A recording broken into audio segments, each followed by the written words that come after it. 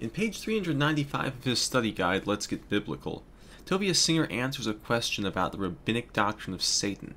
The questioner asks how God, who is good and holy, can possibly be the author of evil, not just in the sense of allowing for evil to exist, but in the sense that God actively creates evil. Singer responds that God placed both good and evil into the world. He cites two verses to support this. The first is Deuteronomy 30:15, which states, "See, I, God, have set before thee this day life and good, death and evil." The second is Isaiah 45:7, which states, "I form the light and create darkness; I make peace and create evil. I, the Lord, do all these things." Singer then goes on to attack the Christian doctrine. These two verses, Isaiah 45:7 and Deuteronomy 30:15, however, pose a serious theological problem to Christians who maintain that God did not create Satan, the angel of evil. According to Christian doctrine, as you suggest in your question, Satan was the highest ranking angel who, through his own act of spiritual defiance and outright disobedience, became the chief adversary and slanderer of God and the embodiment of evil in the world. In Christian theology, God never created evil. He is only the author of righteousness and perfection, as you maintain in your question. Therefore, God could never create something as sinister as the devil himself. Rather, Satan's unyielding wickedness is the result of his own spiritual rebellion. Well, Singer then compares the Christian view of good and evil to the dualism of Zoroastrianism, where the god Ahura Mazda has two equal manifestations, Spenta, good, and Angra, evil. Singer then states that angel means messenger, and that no angel in the Tanakh ever opposes God's will, Satan included. Singer then mentions the book of Job, where Satan appears before God to test the faithfulness of Job. God allows Satan to do so as long as the latter is not allowed to kill Job. According to Singer, Satan obediently follows his creator's instructions, a statement which implies that God actually ordered Satan to torment Job, rather than just giving Satan permission. Singer then states, Still, by the end of this unparalleled biblical narrative, Job's virtue prevails over Satan's unyielding torment. When in Christian terms Job's personal spiritual triumph is a theological impossibility, in Jewish terms it stands out as the embodiment of God's salvation program for mankind.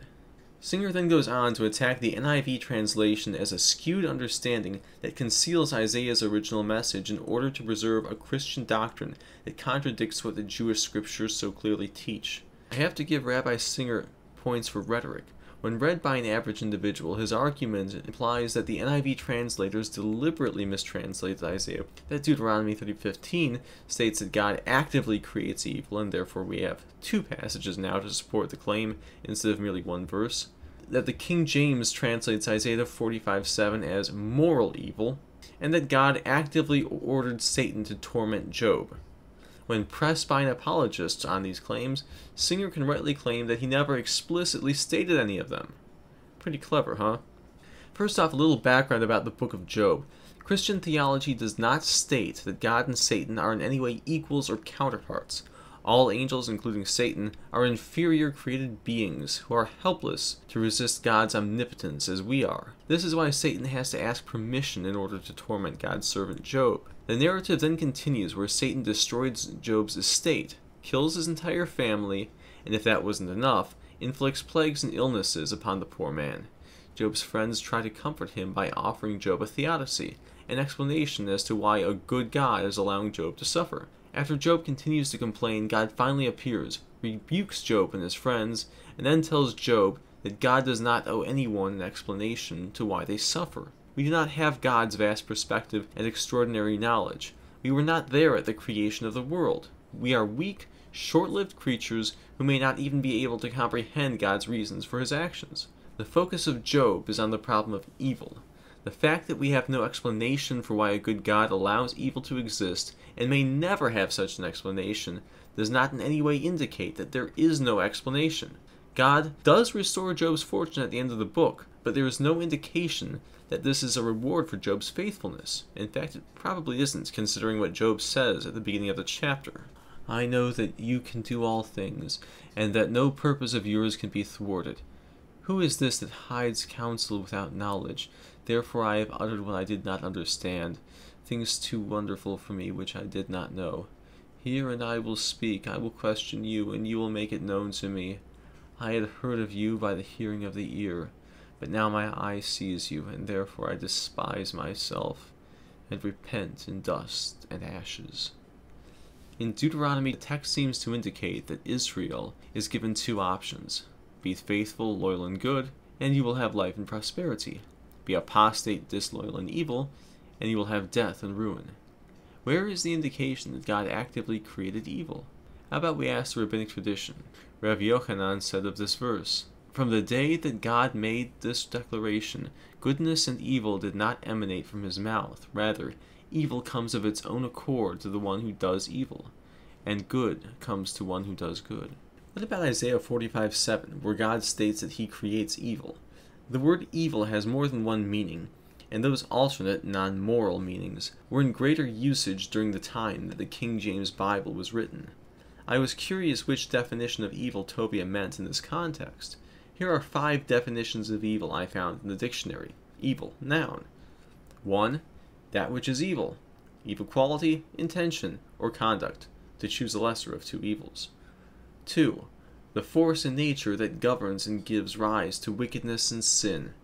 3 the wicked or immoral part of something or someone or something, like the evil in his nature has destroyed the good.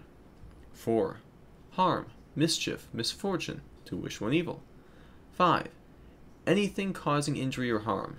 Tobacco is considered by some to be an evil. Is this passage talking about evil in a moral sense? Let's look at the Hebrew to see if it helps us. Yotzer or uvrei hoshech, ose shalom uvrei ra, Ani Adonai Ose Kal Ele, forming light and creating darkness, establishing peace and creating Ra. I, the Lord, create all these. Obviously, the word in question is Ra, Strong's H7451, which can mean bad, evil, distress, misery, injury, or calamity. Basically, it's the same as our English word bad and carries a lot of the same meanings. But which meaning? Let's look at the context. The verse features two parallel lines, each line comparing two opposite ideals. God creates light and its opposite, darkness. God establishes peace and its opposite, Ra, or chaos. Is there any support of this interpretation from rabbinic commentaries? I found one from Radak in the Jewish press Tanakh, who stated that in this context, Ra means the opposite of peace, war with Babylon. Radak seems to indicate that this isn't a statement that God creates moral evil, but a statement that God creates peace and breaks peace, or that he both calms and agitates. Oh, I almost forgot. Singer complains that some Christians believe Isaiah 14:12 is about Satan. I will admit that the oracle delivered by Isaiah is addressed to Nebuchadnezzar, but there is at least one part of the oracle that seems different. How you are fallen from heaven, O day star, son of dawn! How you are cut down to the ground, you who laid the nations low. You said in your heart, I will ascend to heaven above the stars of God. I will set my throne on high. I will sit on the mount of assembly in the far reaches of the north. I will ascend above the heights of the clouds. I will make myself like the Most High. But you are brought down to Sheol, to the far reaches of the pit.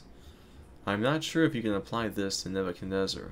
What pagan king, after all, tried to supplant God's rule over heaven, only to fall from it? None that I know of. Shalom Aleichem.